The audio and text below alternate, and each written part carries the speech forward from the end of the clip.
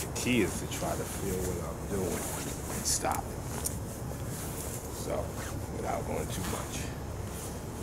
All right, here's the big punch.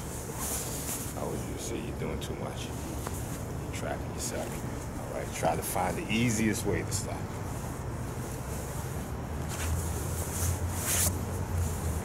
All right, so part of Wing Chun is you want to be able to keep contact. So give me a punch. I want to be able to defend and still keep contact. So I can do all ah. I'm saying so I can start with Bruce Lee. All right, it's the same thing. This one's going down. This is coming up. Yeah.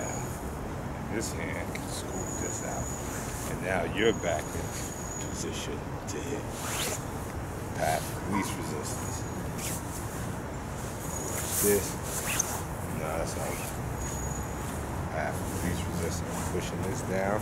So this one takes both hands. This one splits it. This one comes in and goes towards the face. No technique, just sensitivity. Let your body do what it feels. Okay. And this one, but you want to try to keep contact. Now you just let me see too much. Feel it. Try not to do too much.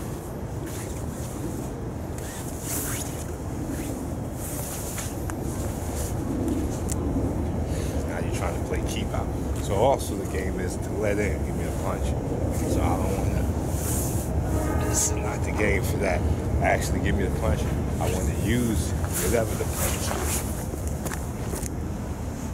I need the punch to get in. All right, so anyway, so showing it, that's how I was breaking it down. Now, what does that mean in the fight? We in the fight, we tussling. So this is where your Wing Chun and all of that Chi Sao can actually work over knowing the technique is knowing the feeling of what's going on. And this is just the feeling of what's going on. It's no technique. I didn't know if I was doing uh, Quan Sao, Pak Sao, whatever Sao. You know, you get caught up in these names, you won't be able to activate. What you need is the actual sensitivity on the fly that when he's grabbing you, he's holding you, he has you. See what happens? You put both hands on one, and this is what most people do. And this is where Wing Chun can help. So as you go to grab me, so my Wing Chun training traps him, fake trap, and I can do all my little punches. So the sensitivity of chi sao is the main important thing. All right, let's take a look at push hands. Make small circles. Now, of course, you know what you want to do is try to push me off center. One foot moves, you lose.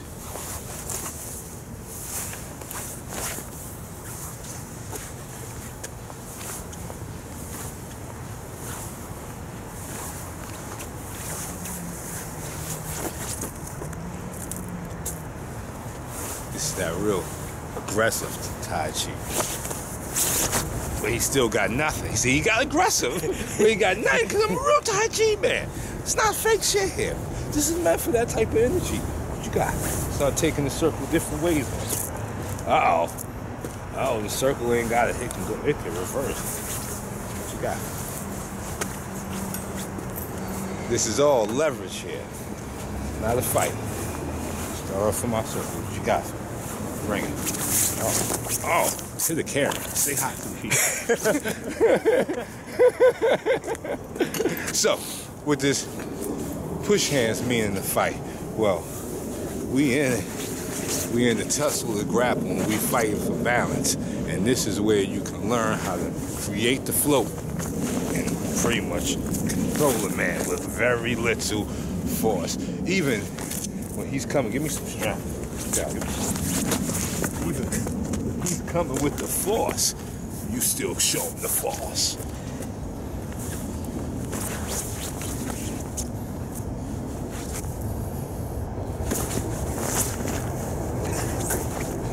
Yeah!